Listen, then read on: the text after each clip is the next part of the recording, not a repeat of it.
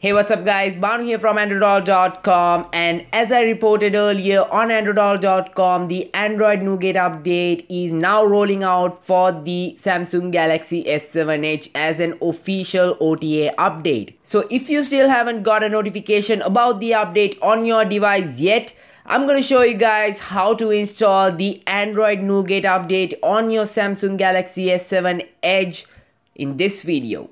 Please note that you can actually use this tutorial to flash the update on the Galaxy S7 as well as any other version of the Galaxy S7 Edge but please make sure that you download the proper file for your model number.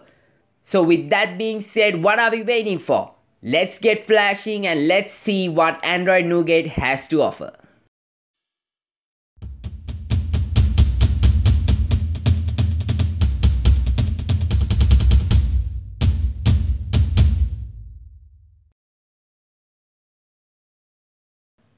Alright, the first thing you need to do is you need to go into your settings and you need to go inside about device and then you need to go inside software info and then you need to tap on the build number 7 times. Then it will say developer mode has been turned on. Then you need to go back and you need to go inside developer options and enable OEM unlock. So provide your pattern and turn it on. After that is done you can power off your device. So just make sure that you have enough battery on your device. Before doing this i recommend having at least above 60% of juice. So after that is done you need to hold the volume down button the power button as well as the home button at the same time and you will see the screen. So just go ahead and hit on the volume up button right here and here you will see the Knox counter as well as the other information about your device. So now you can just leave your device to the side and head down to the computer.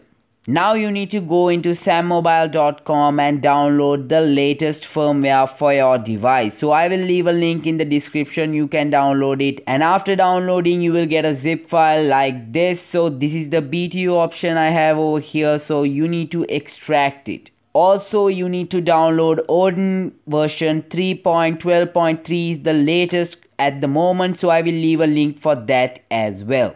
After downloading both of these you need to go inside odin and open it up for the very first time. Just open it up with admin rights so that everything will be smooth.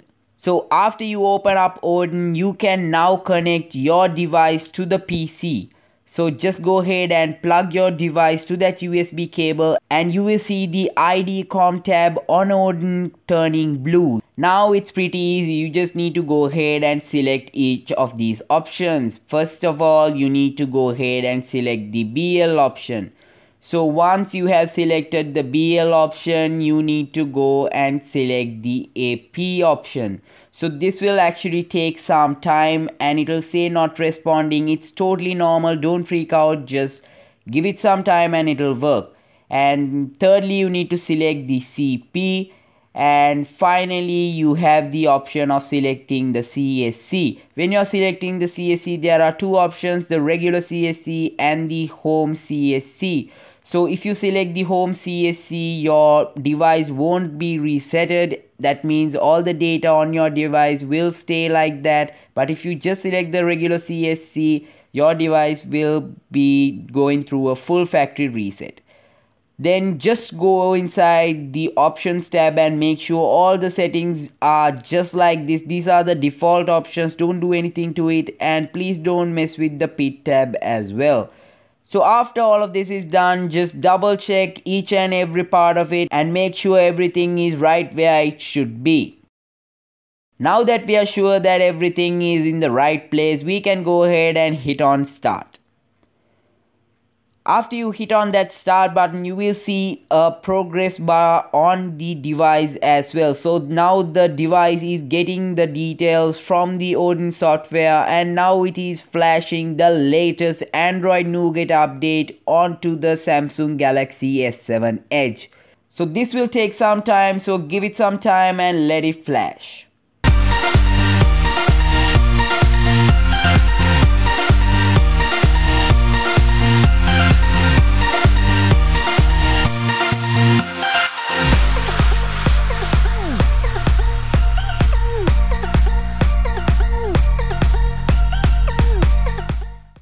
After the installation has been completed, it will say reset and pass on Odin. So this is when you can actually go ahead and unplug your device so you can remove it and you will see that the Galaxy S7 Edge is now rebooting.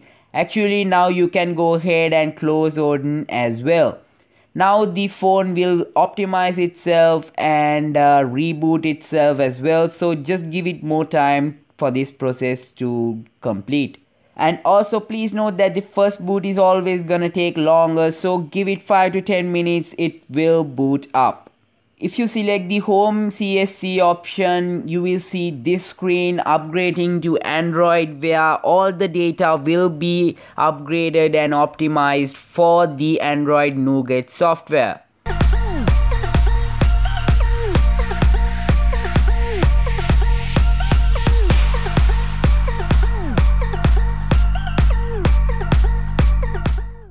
after all of the optimization is completed you will be booted right into android nougat so you can enter your pattern and enter into your device.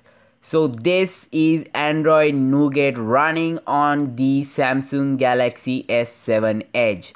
So quickly heading down into the settings and going into about device we will see that the Samsung Galaxy S7 Edge is running on Android 7.0 Nougat.